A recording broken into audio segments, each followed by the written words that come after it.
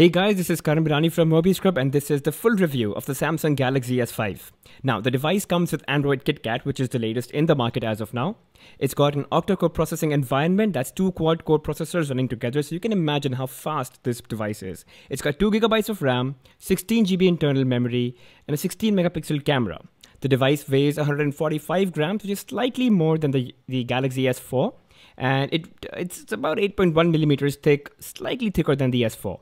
The S5 display is a 5.1 inch massive screen and it's Super AMOLED and it's a full HD screen. So that's 1920 pixels by 1080 pixels. You can pretty much watch high definition full HD movies very easily. The Galaxy S5 camera is a 16 megapixel sensor built on the ISOCELL technology, which is said to improve the, uh, the picture quality considerably. And of course, we would see more of that in the camera review of the Galaxy S5. And just like the Galaxy S4, the S5 is really nice and easy to hold using single hand. On the left edge, you've got the uh, volume rocker, and on the right edge, you've got the power and lock key. And again, the device, it's just so easy to hold using single hand, even with that large display. At the bottom, you've got a USB 3.0 data syncing and charging port, which is a lot faster uh, than the USB 2 port that we've seen, uh, you know, generally. And of course, that cap there is just to protect it from, uh, you know, being uh, spoiled by water or dust. Along with the headphone jack, you also have the IR LED blaster, which basically means you can use the S5 as a remote control to change television channels, volume, even set-top boxes, DVRs, and whatnot. Now let's open the rear panel, uh, and we'll see that there should be some sort of, uh, you know, water resistance mechanism. And there you go. This gasket there kind of protects the device from, you know, any water damage uh, that may occur. Then you've got a 2800 milliampere hour battery, which is 200 milliamps actually more than the Galaxy S4. You've got uh, micro SD card slot, 64 gigabytes expandable. You've got the micro SIM card slot. And at the left, you've got these connectors. So basically, you can have the S View cover for the Galaxy S5. I haven't seen anything in the market as of now, but I'm sure there would be something. Now, I really want to emphasize on uh, the single-handed use of the Galaxy S5, and you know, even being a right-hander with my left hand, I can very nicely and easily traverse across the display uh, at all corners.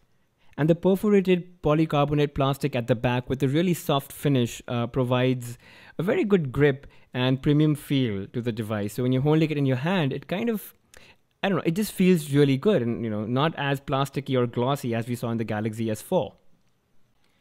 Now finally we arrive at the uh, the OS, the software bit, and it's running Android 4.4.2 KitKat, which is the latest one. It's got a new lock screen with a new animation uh, when you're unlocking the screen. So there you go. It's a slightly tweaked uh, version of the Samsung's TouchWiz. In terms of functionality, it's more or less the same, but there are certainly some visual tweaks, and I really like them because it's different. Nothing that it's it's better. It's just different, so it's welcomed and it's new and you know feels really fresh. And you'd notice uh, in the preloaded apps that they've really removed all the Samsung apps that used to come with the Galaxy S4 or the Note 3. But that's only because you know they want to go more with the uh, stock Android experience, but they still give you the Galaxy Essentials uh, area where you can go ahead and download all of these that come pre-installed in the Galaxy S4 and the Note 3. So don't worry, you're not out of luck. And of course, you can also install some premium apps that come for free with the Galaxy uh, S5. Another change is that they've removed the menu button and they've added the recent apps button instead. The menu button now is basically represented by the three dots on the top right as you see. So it's going to be there in each app. So don't worry that you've not lost your menu functionality. The display is really punchy. It's Super AMOLED. It's a lot brighter. It's a lot more colorful that, than the Galaxy S4. Uh, and you know the pentile arrangement of the pixels is slightly different, which results into a much better uh, visual display and they've really revamped their icons, uh, especially in the areas of their notification panel and their settings uh, menu. You know, the icons are a lot more minimalist. Uh, they're more simple, and they just look better. Uh, of course, they're more different than what we've seen in the usual Galaxy smartphones. But you know, they've and even the settings menu, the way it's now organized and categorized, it's really simple. And if you still find this difficult, you can just use the uh, search icon and you know, if you're looking for something like, say, add account without browsing through so much, just type it out and you're all set. Interestingly, I really want to talk about the voice recorder app on this device. It's got these interesting modes. Uh, you know, for example, interview, which could also mean lecture, uh, conversation, voice memo. You know, basically, it just activates and deactivates microphones uh, located at different points on your device to make the best audio mix for you. And you know, it's even got a memo mode wherein you can speak and it converts into text automatically. And all of this is saved, uh, and you can of course listen to it later. All right, now let's get to uh, S Health.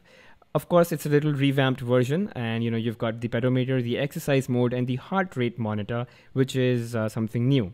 In pedometer, of course, it just calculates the number of steps you're taking, um, and you know you can have a complete chart of your performance over a number of days. Uh, you've got the heart rate monitor, which is the, the the most recent development, and it's pretty accurate, but it does give you, at times, very very rarely, some bizarre numbers. And just like the Galaxy S4, you've got the basic run-of-the-mill stuff. You've got AirView and Smart Stay, and you know all the gestures, and you've got all of that in the Galaxy S5. Uh, what's new again is the uh, the TouchWiz. You know, you've got you can of course customize your SMS app, so you know different background, chat bubble colors, uh, and stuff like that. But what's interesting is you can add priority senders. So people you really talk to often, just lay them out right on top and you can always get to them uh, you know like a shortcut now uh, i want to talk about the toolbox which is again a new thing you've seen this uh, something of this sort on the uh, ios devices it's just a quick way to get to the things that you really want to use a lot and you can of course customize this now the ultra power saving mode it's uh, i think it's handy for people who always run out of battery and what it does is it simply puts your phone to low performance, just a bunch of apps, nothing fancy, and no home screens, nothing. You know, you've got access to limited apps right here, and that's all that you have to do with, and it really results into a huge battery life. And of course, the fingerprint scanner. It's pretty easy to set up. Just go into your lock screen menu and set it up quickly. You can uh, use the fingerprint um, unlocking to kind of go into kids mode or into a private mode, and of course, to uh, unlock your screen if you wish to and it, it just works easy. You know, I have not seen any problem whatsoever. And of course, there's this new uh, way to uh, you know save battery while you're using GPS. You have these three different modes of using GPS, and of course, high accuracy just takes up the most battery, but it is the most accurate as well. And just to prove my point earlier, just like the Galaxy S4, you've got AirBrowse Direct Call, wherein you just pick up the phone and your call gets connected. Smart Alert, when you pick up the device, it kind of vibrates if you have a notification, stuff like that. And AirView, uh, you know, just to hover your finger around stuff and it just pops out. From a performance perspective, the device scores 36,855 on the test I did.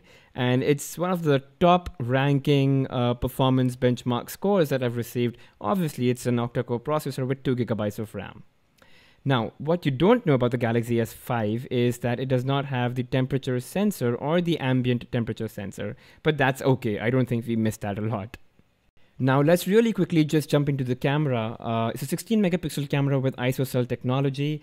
Uh, the interface has been revamped. So this is the stock camera app, and as you can see, the settings menu, all of them are now in one place. There's there's no uh, categorization that we'd seen earlier. Uh, the device can click pictures up to 16 megapixel and can shoot up to 2K uh, video. So that's not 4K, but 2K. Uh, it's ultra high definition. Now you can, of course, you know, just play around with the settings and uh, kind of lay the ones that you're going to use the most on the top, always ready for your access. And there are a bunch of color filters. Nothing new here. You've seen this in the Galaxy S4 and the Note 3, and this device has it too. And there are a bunch of shooting modes like uh, panorama, virtual tour, dual camera, and you can download much more of these. Anyway, so, you know, uh, there's going to be a detailed review on the camera to kind of uh, show what kind of uh, videos it can shoot and what kind of pictures it can take and talk about selective focus, real-time HDR, and stuff like that. So check out the camera review uh, if you wish to.